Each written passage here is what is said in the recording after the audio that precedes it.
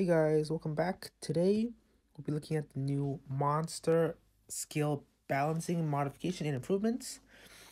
So hopefully we get some cool nerfs for some and then some buffs for some underrated monsters that can make them really shine. So first one we have the water hollyberry cookie macaron guard. That's the one I was I was a little bit um against not not because it's too bad, really bad. It's just because it's been pretty pretty good on defense, and I don't have it, so I've been getting wrecked.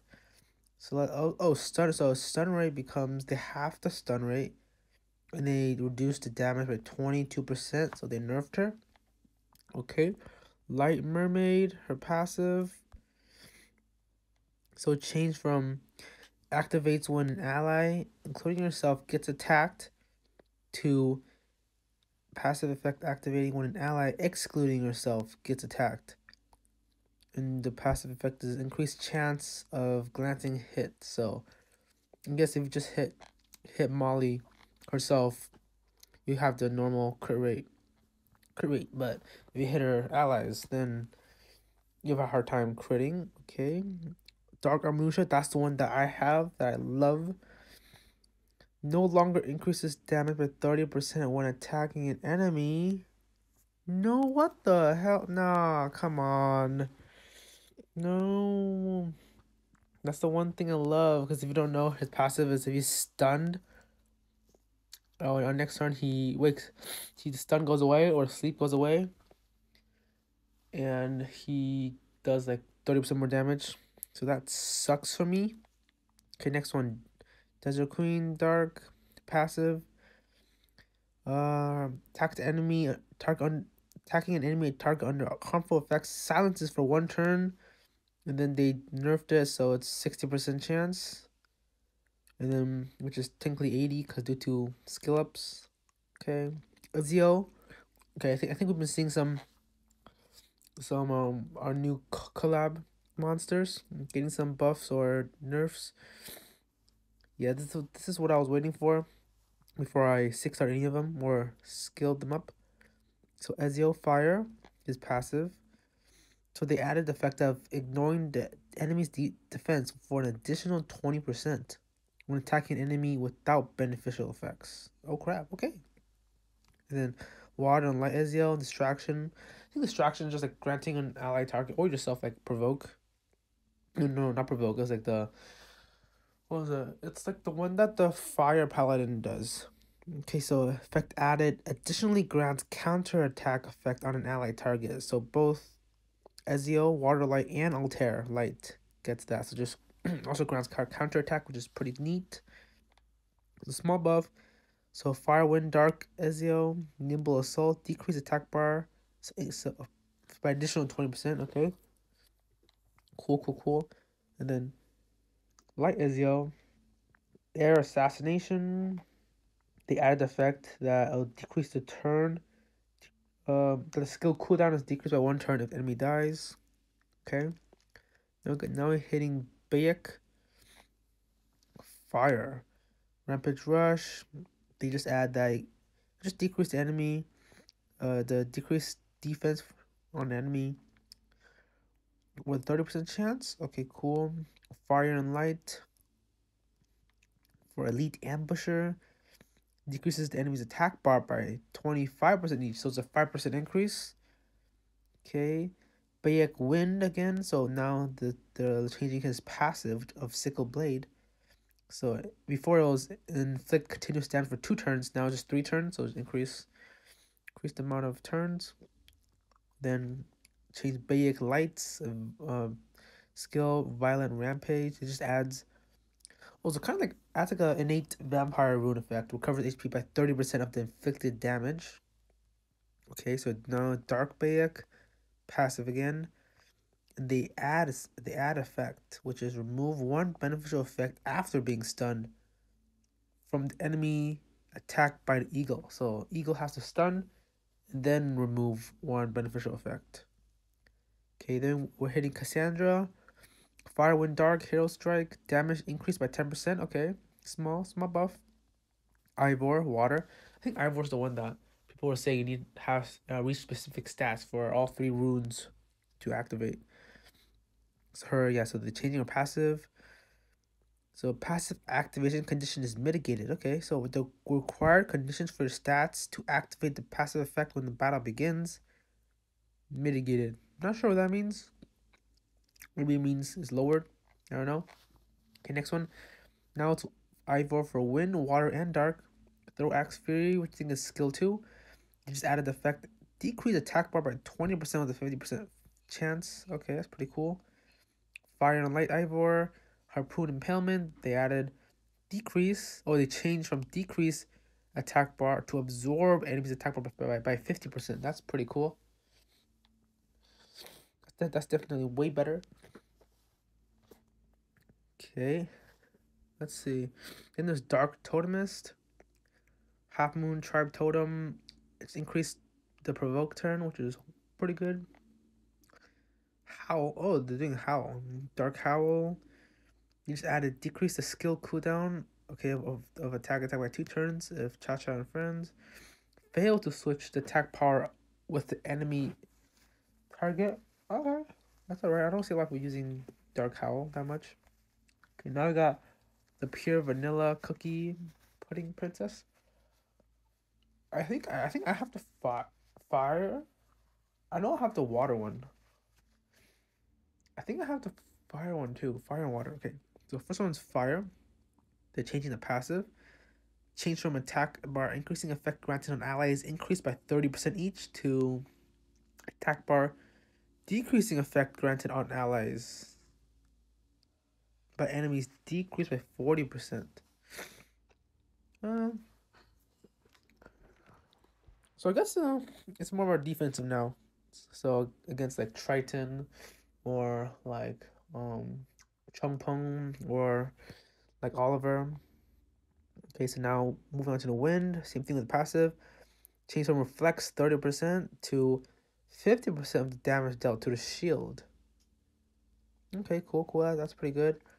Then now is the water and dark, which is the skill. It changes skill two. I think it's like the damage plus uh oblivion. So they they they they made a skill cooldown decrease by one turn. Okay, that's that's awesome. And then now it's fire, wind, light, pudding princess. It's there's also the second skill. I think it's the it's the. I think it's that that's just the. Either the single target heal or uh AoE shield. Let's see what it, what it is. Yeah, I think it's shield. Yeah, increase the shield amount by five percent. Okay, bigger shield. Now we're going with the Valkyria. So that's the fire one. Skill two. Added effect. Remove one beneficial effect granted on enemy target. That is actually pretty pretty cool. Pretty cool. Water Valkyria. I really like using her, especially on Siege, solo Siege. Same thing. Skill 2 freezes enemy target for one turn. Oh my god, okay, that, that is real fun. Now it's a light Valkyria. Uh, skill, uh, skill 2 as well. Increase the ch enemy's chances of landing. Okay, so increase glancing. Okay. Now we got the Dragon Knights. We got the water one, which which which I have. I also love. Uh, I think it's um what what, what is he called um. Water, with a Dragon Knight. Yeah, I can't really I can't really think of his name right now. But he's pretty neat. So the changing is passive. Ooh, okay. This is this is definitely. I think a slight. It's like a buff and a nerf. So he he removes two harmful effects instead of one, but he used to recover fifteen percent every turn, but now it's only ten percent. So that's that's a little little bad. And then the light Dragon Knight change the passive added effect increased the enemy's chance of landing glancing hit for one turn when counter-attacking. Okay, so inflict, inflict, inflict increased glancing whenever he counterattacks. Okay, now we got Light Occult Girl. Her skill 3. So, it used to inflict damage, damage proportional to their max HP. Now it's HP and defense. Then the skill, the, they changed the effect. So, it used to be attacks all enemies and then increase the defense of, of, of all allies by 3 turns.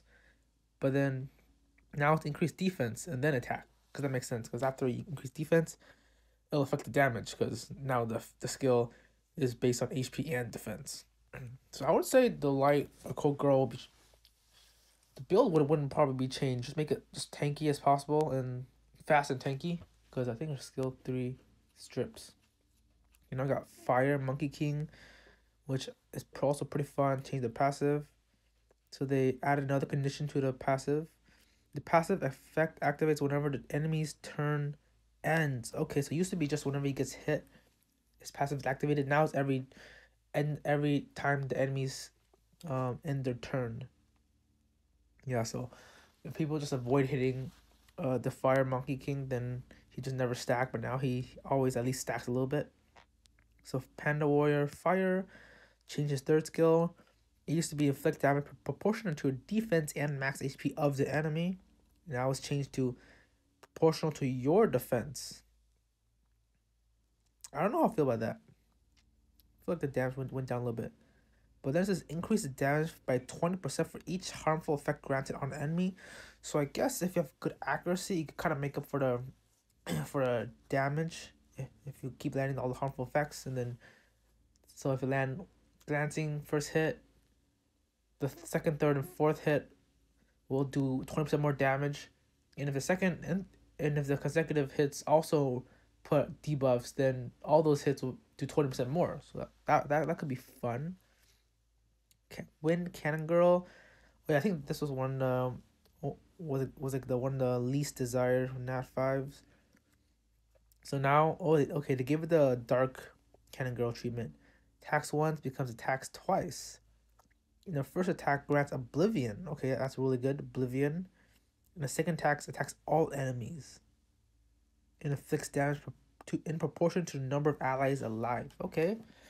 It's, it's man. Okay, next one. Okay, now we're going to the the Cookie Knights. It's all of them. This is their uh I think I think it's their first skill one. Now it's decrease attack bar with a 50% chance. So increase of 20%. That's pretty good. And then now it's the water. Madeline Chocolate Knight changed its passive. Added the effect that recover your HP by 20%. Nullifies fatal damage. So okay, so if you have one health and you have continuous damage, it nullifies that.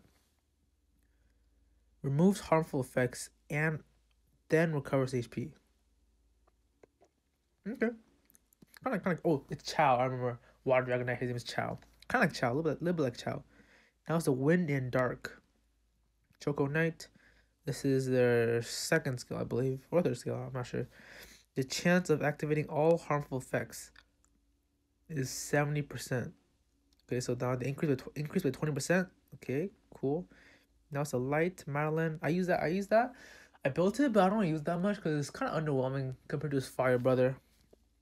So now silence for enemy for one turn to two turns with the fifty percent chance. I mean, it won't really change anything, but that's pretty neat. Now it's the dark one. Effect added increase attack the uh, decrease the attack bar of all enemy by 25% each. Okay, that's pretty good. Now got a little bit samurais. Uh they changed their skill three. Uh the skill three not only activates on your turn, okay, so no counter attacks. And effect changes gains immunity and generates a shield in proportion to a level when third skill is activated, but now it's instantly gets turn when the big skill is activated. So you, do the big damage and you instantly get another turn. Okay, that's actually that's actually really good. Now the water one, I think it's skill two. Okay, now you can decrease the attack by a hundred percent chance. Okay, that that's also really good. Wind Samurai, same thing, second skill. Now they add an effect that steals all beneficial effects from the enemy. Okay, that's not bad. Okay, now let's see what stats. So light, Eivor, and dark Valkyria stats changed. I don't really use any of them, so doesn't really affect me that much right now. And Battle Angel Fire and Wind change Awakening effect. Thank God, man. I don't know why they have resistance.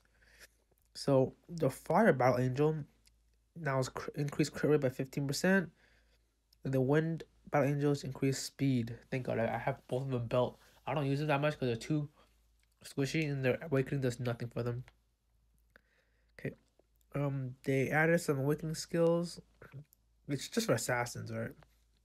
I don't use any of them, but if if any if, if any of you guys use assassins, these these would be pretty pretty good. Leader skills. And then they change errors. Okay, that's pretty much it, guys. That's the current or the the next balance patch. Hope you guys like my video, and if you do, please like and subscribe.